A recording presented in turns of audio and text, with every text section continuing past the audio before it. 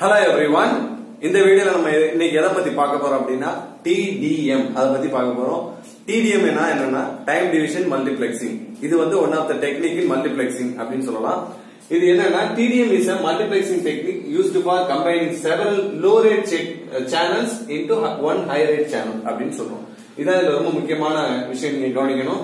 Low rate channels அப்படின்னு சொல்றோம். இதை வந்து லோரேட் நிறைய லோரேட் சேனல்ஸ் சேர்ந்து நம்ம என்ன பண்றோம்? அது எல்லாத்தையும் ஒரே ஒரு ஹை ரேட் சேனல்ல அனுப்புறோம். அப்படிங்கறத நம்ம கவனிக்க வேண்டிய விஷயம். இப்ப இங்க பாருங்க.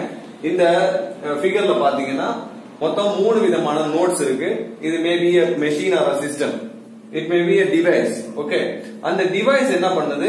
சிக்னல்ஸ் அனுப்புது. இந்த சிக்னல்ஸ நம்மளுக்கு அனுப்புது. எது வழியா அனுப்புது அப்படின்னா மல்டிபிளெக்சர் வழியா அனுப்புது.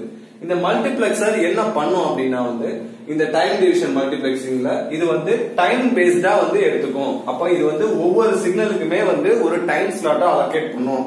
எப்படி டைம் ஸ்லாட்டா அலோகேட் பண்ணும் அப்படின்னா இந்த சிஸ்டம்லயே வந்து ஃபர்ஸ்ட் ப்ரிஃபரன்ஸ் கொடுக்கும். ப்ரையாரிட்டி பேஸ்டா இது என்ன பண்ணும்? ஒவ்வொரு சிக்னல்ஸையும் எடுத்துக்கும். அதே சமயத்துல இந்த சிங்கிள் லைன்ல தான் எல்லாத்தையுமே அனுப்புது.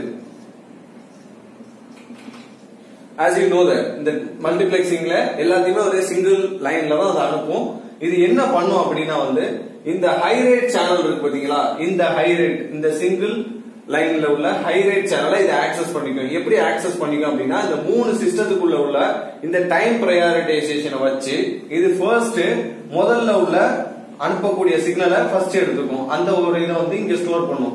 இப்போ அதை வந்து பேக்கெட்ஸா பேக்கெட்ஸா ஸ்டோர் பண்ணும். அதுக்கு அடுத்து பாத்தீங்கன்னா செகண்ட் தேர்ட் அப்படின்னு சொல்லி ஒவ்வொரு சிஸ்டத்துடைய ஃபர்ஸ்ட் இன்ஃபர்மேஷனை கலெக்ட் பண்ணி ஃபர்ஸ்ட் அனுப்பும் அப்போ அது ரிசீவ் ஆகிற இடத்துல டிமல்டிபிளெக்சர் அதை ரிசீவ் பண்ணும். இப்போ இது என்ன பண்ணும்? ஒவ்வொன்றுக்குமே ஒரு டைம் ஸ்லாட்டை வந்து வேரியேஷன் பண்ணி காட்டும். அதாவது ஒரு குறிப்பிட்ட டைம் பீரியடுக்கு இடையில என்ன பண்ணும்? மூணு மூணு இப்ப மூணு சிஸ்டம் இருக்கனால மூணு மூணு இன்ஃபர்மேஷனா அனுப்பிக்கிட்டே இருக்கும். இதை வந்து என்னவா அனுப்பும் அப்படின்னு கேட்டா ஃப்ரேம்ஸ் அனுப்பும். இப்போ பேக்கெட்ஸ்னா என்ன? ஃப்ரேம்ஸ்னா என்ன அப்படின்னா பேக்கெட்ஸ் வந்து ஃப்ரேமுக்கு உள்ளதா இருக்கும். இந்த ஃப்ரேம் வந்து எதை வந்து டிரான்ஸ்மிட் பண்ணும் அப்படின்னு கேட்டா அது மேக் அட்ரஸை டிரான்ஸ்மிட் பண்ணும். அதே பேக்கெட்டுங்கிறது எதை டிரான்ஸ்மிட் பண்ணும் அப்படின்னா ஐபி அட்ரஸை டிரான்ஸ்மிட் பண்ணும். அப்போ இந்த குறிப்பிட்ட டைம் ஸ்லாட்ஸ்க்கு இடையில இது என்ன பண்ணும்? இந்த சிஸ்டம்ஸோட இன்ஃபர்மேஷனை மல்டிபிளெக்சர் வழியா இந்த சிங்கிள் லைனுக்குள்ள அனுப்பி அதை டிமல்டிபிளெக்சருக்கு அனுப்பும். இப்போ பாருங்க இதே மாதிரி சேம் சிஸ்டம்ஸ் இங்கேயும் இருக்கு. அப்போ இந்த ஒன்னுங்கிற இன்ஃபர்மேஷன் இங்க டிமல்டிபிளெக்சர் கிட்ட வரும். இங்க டிமல்டிபிளெக்சர் என்ன பண்ணும் அப்படின்னா இந்த இன்ஃபர்மேஷன்ஸ் எல்லாத்தையும் கேதர் பண்ணி கேதர் பண்ணி ஒன் பை ஒன்னா அனுப்பிக்கிட்டே இருக்கும். இங்க இந்த இன்ஃபர்மேஷன்ஸ் ஒன் பை ஒன்னா போய்கிட்டே இருக்கும்.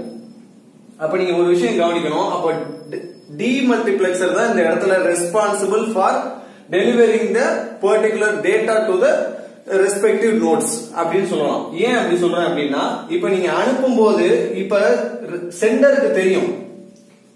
சென்டருக்கு தெரியும் எந்தெந்த இன்ஃபர்மேஷனை நான் பிரிச்சு அனுப்புறேன்னு அவங்களுக்கு தெரியும். ஆனா ரிசீவருக்கு அந்த மெசேஜஸ் எங்கெங்க யார் யாருக்கு அனுப்பணும் அப்படிங்கிறது தெரியாது. அப்போ அந்த இடத்துல தான் டிமல்டிபிளெக்சர் இந்த இடத்துல ஒரு பெரிய வேலை செய்யுது. என்ன செய்யுதுன்னா நம்ம தனித்தனி ஃப்ரேம்ஸ் அனுப்பினாலும் கூட அது என்ன பண்ணுது? ஒவ்வொன்றையுமே கேதர் பண்ணி அது எந்த ரெஸ்பெக்டிவ் நோடுக்கு அனுப்பணும்னு சொல்லி அதுக்கு தெரியும்.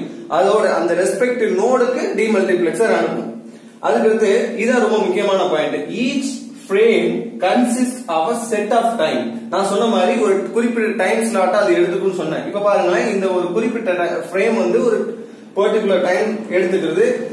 And portions of each source is assigned a time slot for per frame. அப்போ ஒவ்வொரு ஃப்ரேமுக்குமே வந்து ஒரு குறிப்பிட்ட டைம் ஸ்லாட்ஸ்க்குள்ள அது பண்ணும்.